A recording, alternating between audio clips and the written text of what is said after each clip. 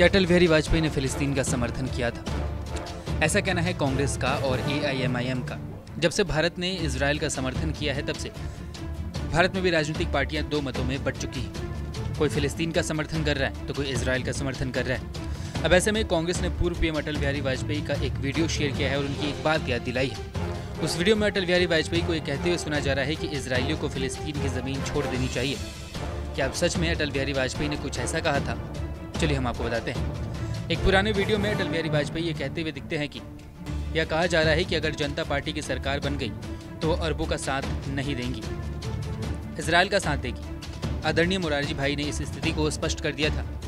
गलतफहमी को दूर करने के लिए मैं कहना चाहता हूँ कि हमारे प्रश्नों को गुणा और अवगुणा के आधार पर देखेंगे।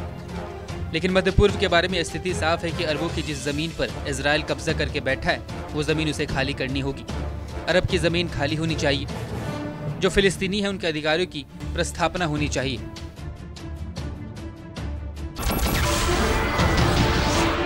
नमस्कार, मैं हूँ मानक गुप्ता। अगर आपको हमारा ये वीडियो पसंद आया हो तो इसे लाइक और शेयर ज़रूर करें। और हाँ, हमें सब्सक्राइब और फॉलो करना ना भूलें, ताकि आप देश और दुनिया की कोई खबर मिस ना करें। तो जुड़े रहिए हमारे साथ और देखते रहिए न्यूज़ ट्वेंटी